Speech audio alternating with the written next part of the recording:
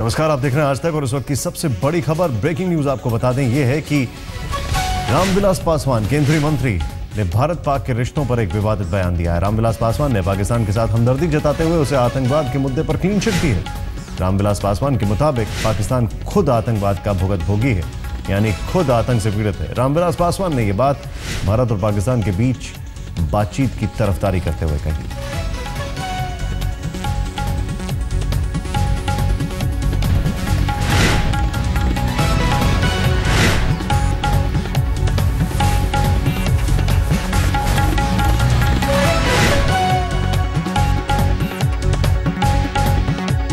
और कोई भी सोशलिस्ट पार्टी का जो पुराना आदमी होगा, डॉक्टर लोहिया का मानने वाला, वो तीन चीज़ ज़रूर कहेगा कि हिंदुस्तान पाकिस्तान में दोस्ती हो, दोनों में व्यापार का रास्ता खुले, दोनों का एक करेंसी हो, और दोनों का वीज़ा का मामला जैसे कहते खत्म हो।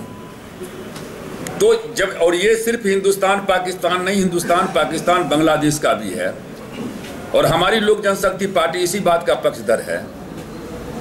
अब पाकिस्तान में जो टेररिज्म की घटना घट रही है तो हमारे ही देश में तो नहीं घट रही है। हमसे ज़्यादा तो पाकिस्तान में लोग मारे जा रहे हैं। तो यदि नवाज़ शरीफ के कंट्रोल में यदि टेररिस्ट रहता तो उनके यहाँ क्या के उनके यहाँ कैसे हत्या होती?